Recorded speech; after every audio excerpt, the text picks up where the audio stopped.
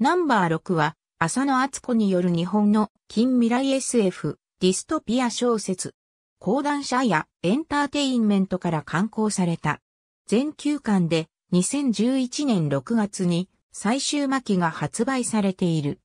文庫本、コミックも全9巻で、文庫本は2014年7月に、コミックは2014年3月に最終巻が発売されている。台湾等への海外進出も決まっている。また2012年11月には物語のその後を描いた外伝ナンバー6ビヨンドが発売された。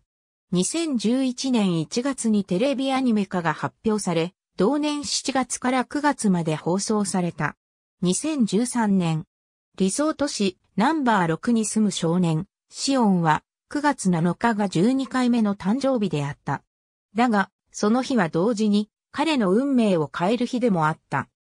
強制施設から抜け出してきた謎の少年、ネズミと出会い、負傷していた彼を解放したシオンだが、それが治安局に露見し、ナンバー6の高級住宅街、クロノスから準市民の居住地、ロストタウンへと追いやられてしまう。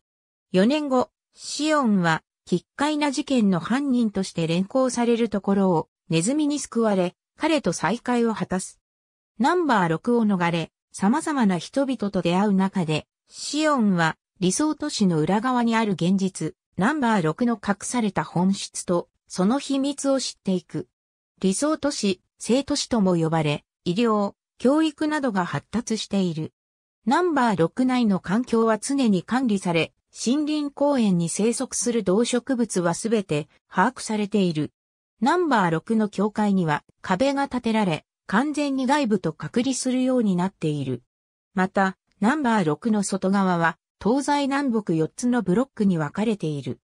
北ブロックには、紅葉樹林の森と山が広がり、完全保護地域に指定されており、南ブロックと東ブロックには、ナンバー6の住人に必要な食料の大半を賄う農耕地と牧草地がある。西ブロックについては、夏季山椒。このナンバー6をはじめとする理想都市は世界に6つ点在するようだが、詳細は不明である。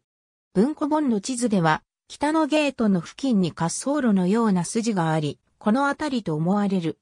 2011年7月7日から同年9月15日まで、フジテレビ、ノイタミナ枠他にて放送された。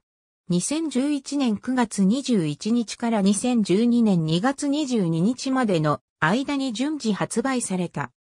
ブルーレイディスク、DVD の完全生産限定版の全巻共通の封入特典として、ドラマ CD toi8描きおろし三方背ボックス、石野聡描きおろしデジケース、特製ブックレット、ピンナップが封入されている。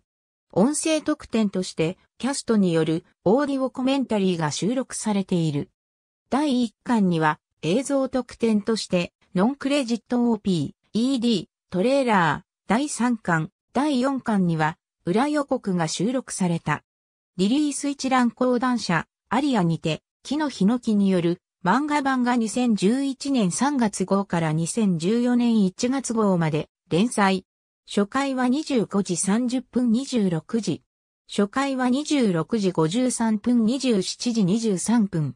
毎月最終週のみ26時30分27時。ありがとうございます。